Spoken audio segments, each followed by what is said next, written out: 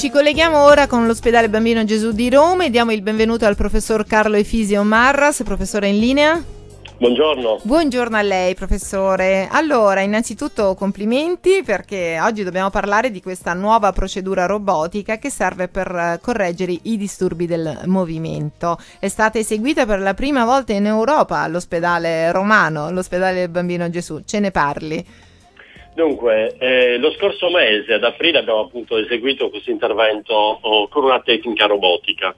È un intervento che eh, prevede il posizionamento di elettrodi in specifiche aree cerebrali per il controllo di uno particolare disturbo del movimento che si chiama distonia. Ecco, che cos'è la distonia? Così eh, mettiamo subito le cose certo, in chiaro certo. per far capire ai nostri radioascoltatori. Dunque, eh, c'è una definizione di distonia, ma che comunque credo che in questo momento non chiarisca quello che è disturbo del movimento, ma si tratta di una patologia in cui eh, il problema è rappresentato da movimenti involontari, uh-huh. ovvero chi ha questo problema non riesce a controllare dei movimenti che comunque si generano indipendentemente da chi appunto eh, da, dal paziente. Per cui eh, questi pazienti possono avere dei movimenti appunto involontari del, delle braccia o delle gambe o del tronco, possono avere problemi nel parlare in relazione ah. a questa difficoltà motoria o ancora possono avere delle posizioni fisse di queste parti del corpo che impediscono eh, i normali svolgimenti delle attività certo. quotidiane. Per cui questi pazienti spesso sono pazienti che hanno un normale eh, quoziente di intelligenza, persone normali dal punto di vista mm-hmm. cognitivo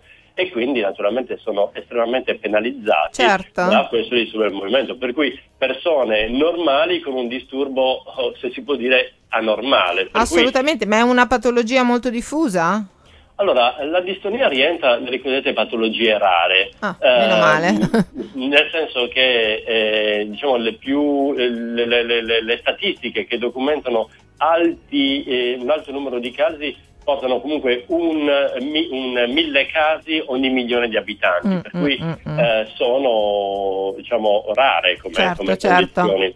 È chiaro. E quindi diventano, sono delle difficoltà motorie ecco, nei bambini. E come si può intervenire? Perché eh, esiste una cura? No, esiste però un intervento chirurgico addirittura. Allora, esiste sia una cura, infatti esiste un trattamento medico ben codificato uh-huh. che talvolta è efficace, ma nei pazienti in cui eh, la terapia non è efficace e hanno un tipo di disturbo del movimento um, ben definito, infatti è molto importante la valutazione prechirurgica di questi pazienti, allora questi sono i pazienti candidati all'intervento chirurgico di cui stiamo parlando. Uh-huh. Uh-huh. È un intervento in cui eh, si posizionano due elettrodi, uno per lato, a livello di un nucleo specifico che si chiama palido interno.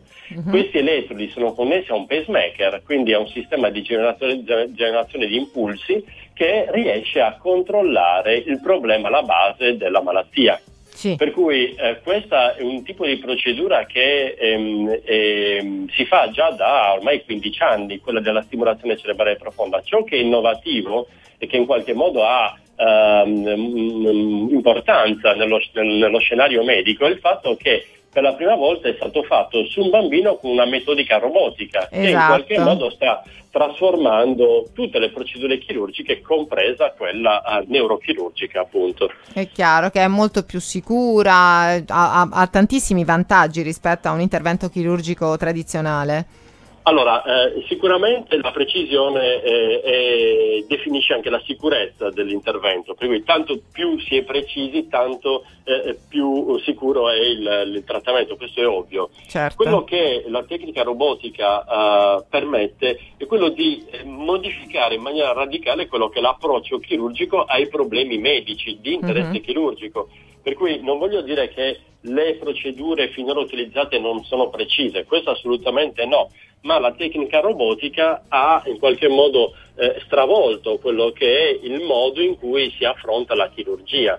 Per certo. cui l'originalità di questa procedura, che è una procedura assolutamente precisa, è quello proprio di eh, aprire uno scenario che è moderno, assolutamente nuovo. Certo, certo. E quindi che cosa viene messo all'interno del cervello del bambino? Sono degli elettrodi mh, mm, che sono utilizzati anche per la cura di altre patologie come la malattia di Parkinson, uh-huh. ehm, che appunto sono connesse a questi generatori di impulsi che eh, vengono mantenuti, mantenuti, in sede a livello sottocutaneo, tutto il sistema è comunque sottocute, per cui non ci sono delle parti esposte certo. eh, e in questo modo la stimolazione continua permetterà il controllo dei, dei, dei sintomi. Tra l'altro la tecnologia sta facendo dei grossi passi avanti in quanto questi sistemi sono ricaricabili, uh-huh. ovvero sono dei sistemi che possono essere telemetricamente ricaricati Però. e quindi non c'è bisogno di modificare, di certo. sostituire la batteria così chiamata, cosa che prima si faceva uh, di routine. Uh-huh. Insomma, nel tempo stiamo con il miglioramento della tecnologia e delle tecniche di, eh, chirurgiche che sta aggiungendo dei risultati sicuramente un tempo non pensabili. È chiaro, quindi una volta installati non è che non, non, bisogna andare ancora una volta perché se lei mi dice che appunto il cambio della batteria, così lo chiamiamo, può avvenire sì. in maniera, eh, quindi può restare lì per quanto tempo?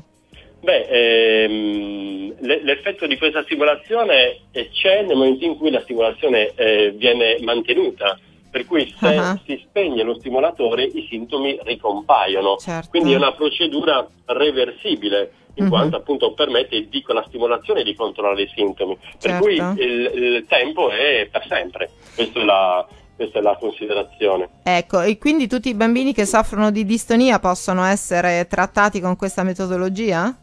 Uh, prima le dicevo che eh, la, la, valutazione prechirurgica è fondamentale, ah, uh-huh. cui il paziente viene analizzato, studiato e il caso discusso con tutte le specialità che afferiscono al problema, quindi il neuropsichiatra, il neurologo, eh, il chirurgo, insomma tutto un gruppo di lavoro proprio che, da un'equipe di lavoro, esattamente, certo. e definisce l'indicazione al trattamento chirurgico, per cui non tutti i bambini sono Mhm. candidati all'intervento, ma alcuni certamente sì, Certo. e tra questi quelli più, eh, diciamo, i pazienti eh, candidati sono quelli che hanno la cosiddetta forma genetica eh, DY-T1 positivo, che è un tipo di gene modificato che si osserva nelle distonie che risponde benissimo alla stimolazione cerebrale profonda, così si Mhm, chiama mhm. questa metodica. Bene, bene, bene. Quindi complimenti anche perché l'ospedale Grazie. Bambino Gesù è un centro di riferimento nazionale, no?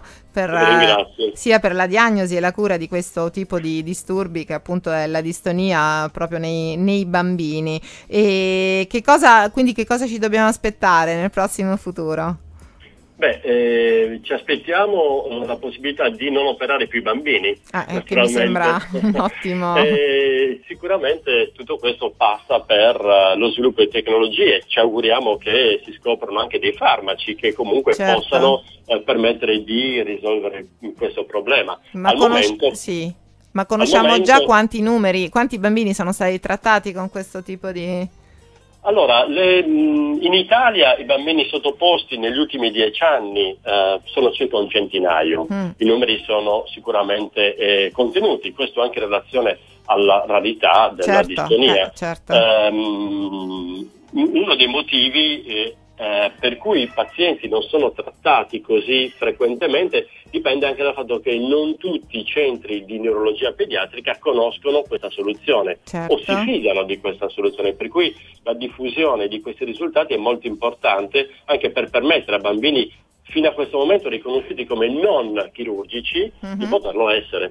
È chiaro, molto bene. Professor Marras, io veramente la ringrazio per questa sua Io testimonianza che ha, eh, ha aperto un po' i nostri orizzonti di fronte a una metodica assolutamente innovativa della quale non eravamo certamente al corrente. Grazie ancora e complimenti. Buongiorno. Ringraziamo il professor Carlo Efisio Marras, responsabile della neurochirurgia dell'ospedale Bambino Gesù di Roma.